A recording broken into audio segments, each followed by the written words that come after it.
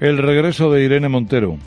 Sé que la gente tiene miedo y ante ese miedo hay una respuesta fácil que estamos viendo estos días, que es la del odio. Es la de los odiadores profesionales, que nos dicen que la solución está en mirar al vecino o a la vecina y pensar que porque viene de otro país tiene la culpa de los problemas que tenemos, que está en odiar a las mujeres, que está en odiar al diferente, que está en odiar al que no entendemos de los nuestros. Bueno, pues creo que debemos mirar a nuestras madres, a nuestras abuelas, a nuestras bisabuelas, a todas las que han venido antes.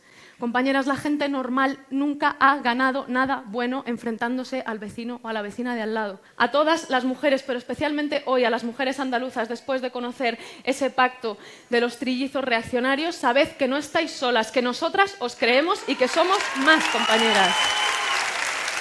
Os creemos. Pues por lo que parece, contando votos no sois más. Contando votos. ¿eh? A lo mejor sí hay que contar otras cosas.